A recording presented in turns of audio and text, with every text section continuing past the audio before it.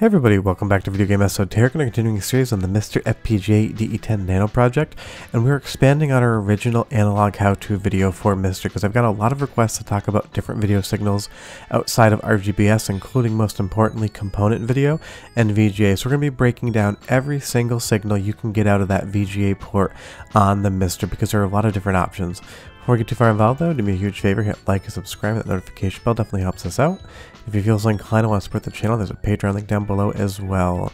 But you have to remember, this VGA port is just a port. That does not mean it is outputting VGA signal. It is just pins in there that you connect to wires in a different cable. So you can make this port do anything you want. You just need to remember that your audio is going to be separate when you're using analog video. You're going to have that headphone jack, which is also an optical audio port, but you do need to break out your audio because on HDMI they're combined, but on analog they are separated, and that is very important to remember. Now here's the thing about component video. It's still going to use the VGA connector. MiSTer is just using these as actual connectors and not as standards. You can reconfigure them and we'll get into that in a moment.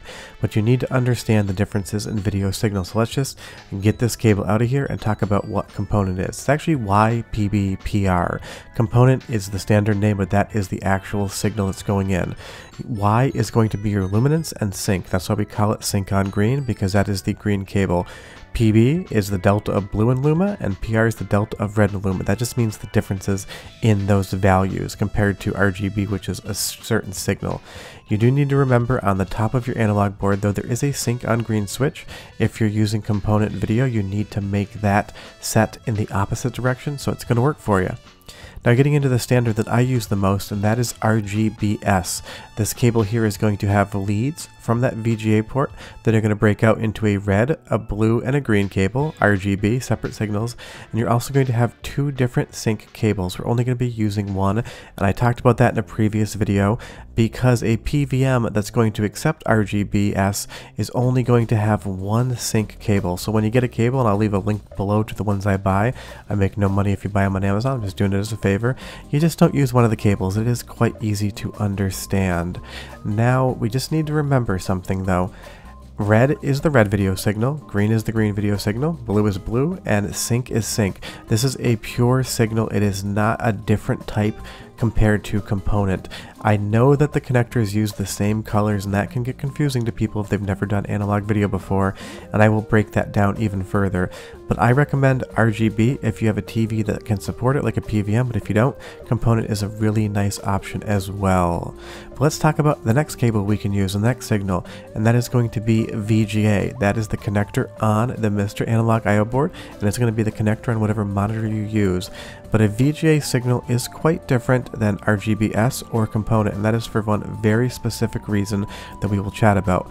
But VGA is red, green, and blue, separate signals, but there is a horizontal and a vertical sync line. It has two syncs compared to 15 kilohertz having one sync, and that's going to be important to us because a VGA standard is going to be 31 kilohertz or 480p, which is different than 15 kilohertz or 240p, which is what most consoles are putting out. So you need to remember VGA and this are different. 15 kilohertz is going to be your standard SD resolution on any sort of console. Something like a Twin Famicom, a Famicom like that, they're all outputting 240p. But like I said, even though component and RGB share the same color cables, they are not the same thing, and this gets people confused if they did not grow up with analog televisions like I did. They look the same, they are different standards. And that's why if you take a look at the back of a PVM, you're going to see RGB and component, and it's going to be green, blue, and red, or YPB and PR, and that's what we talked about earlier in the video about those different types of standard signals because it does get really confusing with the cables being the same color. But if you do have a PVM and you've never used these cables before, you're going to notice that you can't just slam them in the back of the television. Sure, there's an RCA port here for audio, but that's not going to do anything for us. So if you're new into PVMs or analog video on MiSTer, you're going to need some BNC to RCA female adapters. I'll leave the link down below as well. That just allows us to adapt that BNC locking port over to an RCA connector so you can actually put that cable in.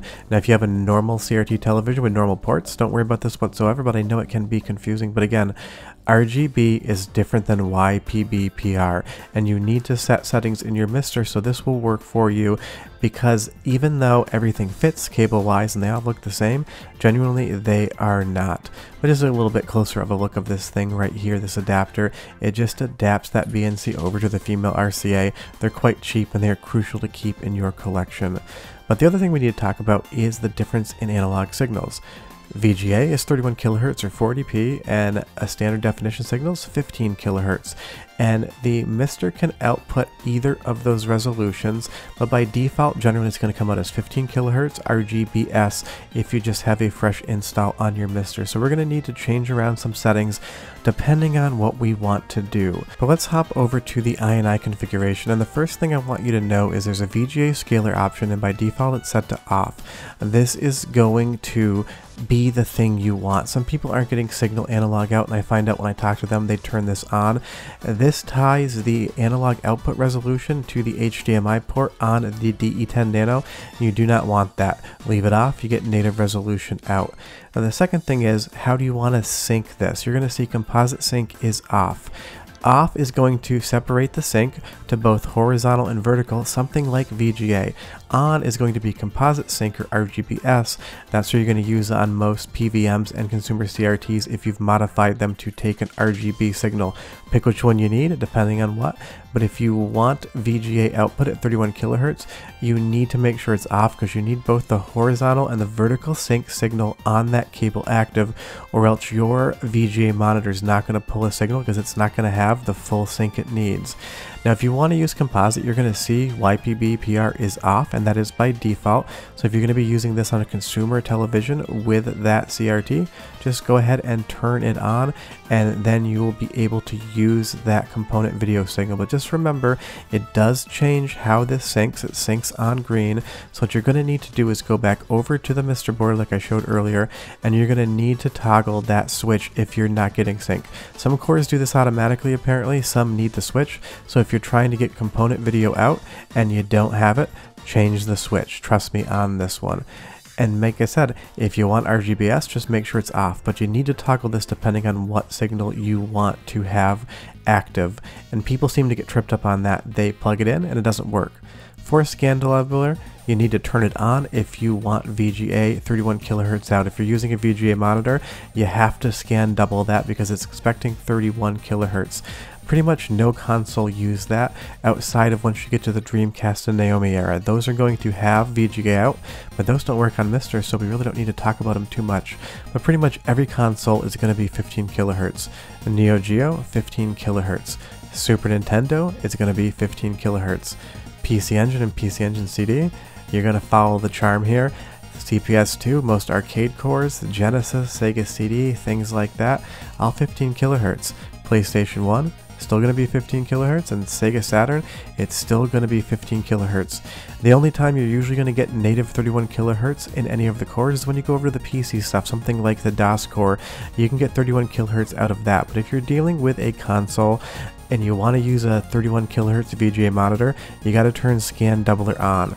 And like I mentioned in a previous video, be careful with your MiSTer. These cables that I recommend are quite nice, but they're quite beefy and heavy. Do not put stress on your port. If you stress that port out, you can crack solder joints and then your analog I.O. board is going to need a repair, so just be very careful and balance it well. And remember, CRTs are not flat panel LCD TVs. A lot of times they need to be adjusted. Depending on what core you're using and depending on what original hardware you're using, there are instances in which the video on the screen will not fit the screen. It'll be too large or too small. That's just how analog video signal works. Look up the service menu for your model of TV and you can adjust the size to fit your screen. Just make sure you know what you're doing and be careful when you do that. But that's how you get all three different analog video signals out of your MiSTer Analog I.O. board. Now if you want a video on S-Video and composite, which I did not do in this one, leave me a comment down below. These take a long time to make and I didn't want to make this too long. So if you guys want to see S-Video and composite out, leave me a comment and maybe I'll make it. But that's what you need for MiSTer. Links to the cables are in the description below, and like I said earlier, I don't make any money off those whatsoever. Hit like and subscribe, and if you ever need any help with this, just leave me a comment. I will point you in the right direction. Sure that I'll have another video on MiSTer next week and videos for the week, but there's the cables. Bye-bye.